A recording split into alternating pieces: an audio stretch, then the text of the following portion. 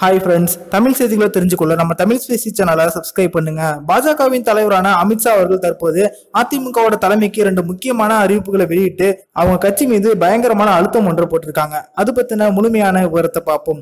நடந்து முடிந்த நாடாளுமன்ற தேர்தலில் பாஜக அதிமுக தேமுதிக பாமக போன்ற கட்சிகள் கூட்டணியில் இருந்தாங்க. பாஜக தற்போது தமிழகத்துல ரொம்ப செல்வாக்கு கம்மியான கட்சியா இருக்கிற காரணத்தினால அவங்க அதிமுக கூட கூட்டணி வச்சு எப்படியாவது செல்வாக்கு உயர்த்தி கொள்ளணும் அப்படின்னு பார்த்தாங்க. ஆனா பாஜக கூட கூட்டணி வச்ச காரணத்தினால அதிமுகவோட செல்வாக்கும் சேர்ந்து தமிழ்நாட்டுல குறைஞ்சது அப்படிங்கிறது குறிப்பிடத்தக்கது.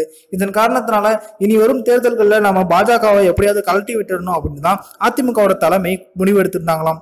அதாவது வருகின்ற உள்ளாட்சி தேர்தல் மற்றும் இரண்டாயிரத்தி இருபத்தி ஒன்னாம் ஆண்டு நடக்கும் சட்டமன்ற தேர்தல்களில் நாம் பாஜக கூட கூட்டணி வைக்கக்கூடாது என்று அதிமுகவோட தலைமை வந்து கட்சி நிர்வாகிகள் எல்லாருக்குமே அறிவுறுத்தி இருந்தாங்களாம் ஆனா சமீபத்தில் சென்னை வந்த பாஜகவின் தலைவர் அமித்ஷா அவர்கள் அதிமுகவின் தலைமை நிர்வாகிகளை சந்தித்து இனிமேல் நடக்கும் அனைத்து தேர்தல்களிலுமே பாஜக அதிமுக கூட தான் கூட்டணியில இருக்கும்.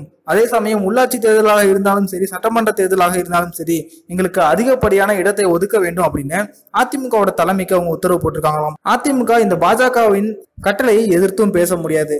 காரணம் என்ன அப்படின்னா தற்போது தமிழகத்துல அதிமுக ஆட்சி நிலையா நிற்கிறதுக்கு காரணமே பாஜகவோட தலைமை தான் அப்படிங்கிறது குறிப்பிடத்தக்கது. இதன் காரணத்தினால தற்போது அதிமுகவோட தலைமை ஏற்கனவே இவங்க கூட கூட்டணி வச்ச காரணத்தினாலதான் நம்மளோட செல்வாக்கு தமிழ்நாட்டுல குறைஞ்சிருக்கு.